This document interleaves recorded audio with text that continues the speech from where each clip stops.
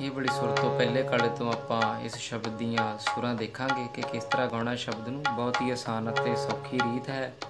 ਕੈਰਵੇ ਤਾਲ ਦੇ ਵਿੱਚ ਹੈ। ਇੱਥੇ ਆਪਾਂ ਥੋੜੀ ਜਿਹੀ ਲੈ ਘਟਾ ਕੇ ਦੇਖ ਰਹੇ ਹਾਂ।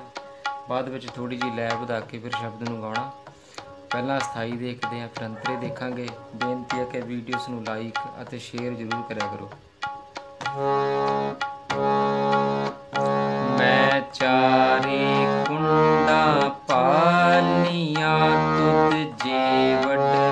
ਸਾਈਆਂ ਮੈਂ ਚਾਰੇ ਕੁੰਡਾ ਪਾਲੀਆਂ ਤੁਧ ਜੇ ਵਡਨਾ ਸਾਈਆਂ।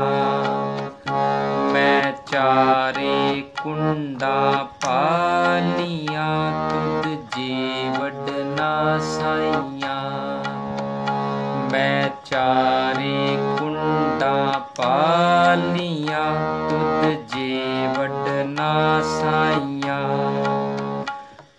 ਤੁਧ ਜੇ ਵਡਨਾ ਸਾਈਆਂ।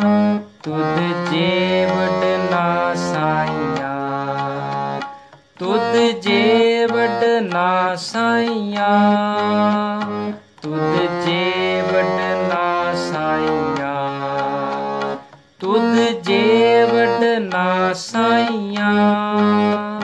ਤੁਧ ਜੇ ਵਡਨਾ ਸਾਈਆਂ। ਮੈਂ ਚਾਰੇ ਕੁੰਡਾ ਪਾਲੀਆਂ, ਤੁਧ ਜੇ ਵਡਨਾ ਸਾਈਆਂ। ਮੈਂ ਚਾਰੇ ਕੁੰਡਾ ਪਾਲੀਆਂ, ਤੁਧ ਜੇ ਵਡਨਾ ਸਾਈਆਂ। ਇਸ ਤਰ੍ਹਾਂ ਆਪਾਂ ਸਥਾਈ ਗਾਉਣੀ ਹੈ, ਹੁਣ ਅੰਤਰਾ ਦੇਖਦੇ ਹਾਂ। ਮਨ ਲੋਚੈ ਹਰ ਮਿਲਣ ਦਰਸ਼ਨ ਪਾਈਆਂ। ਮਨ ਲੋਚੈ, ਹਰ ਮਿਲਣ ਕੋ ਕਿਉ ਦਰਸ਼ਨ ਪਾਈਆਂ। ਮੈਂ ਲਖ ਵਿੜਤੇ ਸਾਹਿਬਾ, ਜੇ ਬਿੰਦ ਬੁਲਾਈਆਂ। ਮੈਂ ਲਖ ਵਿੜਤੇ ਸਾਹਿਬਾ, ਜੇ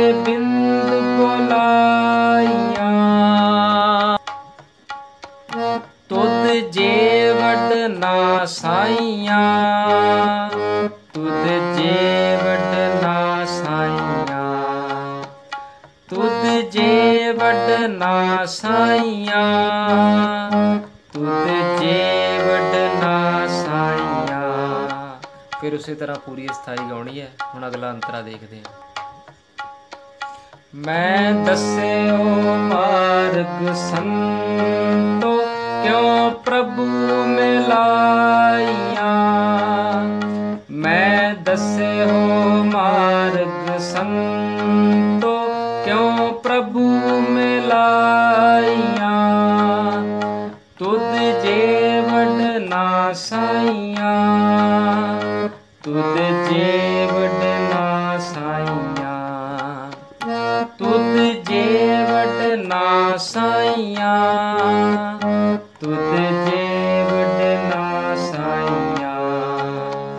ਉਸੇ ਤਰ੍ਹਾਂ ਪੂਰੀ ਸਥਾਈ ਗਾਉਣੀ ਹੈ।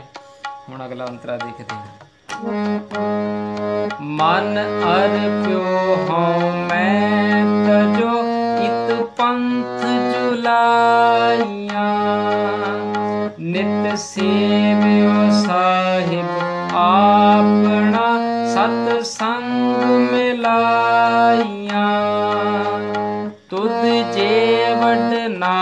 ਵਡਨਾ ਸਾਈਆਂ ਤੁਧ ਜੇ ਵਡਨਾ ਸਾਈਆਂ।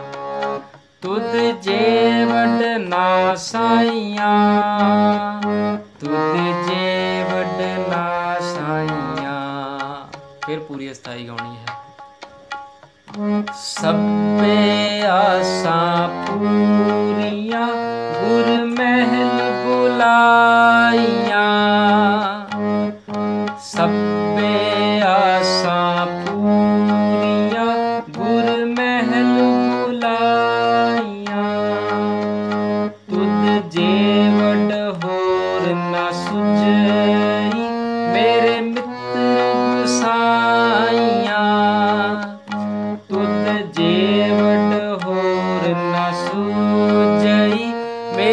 with the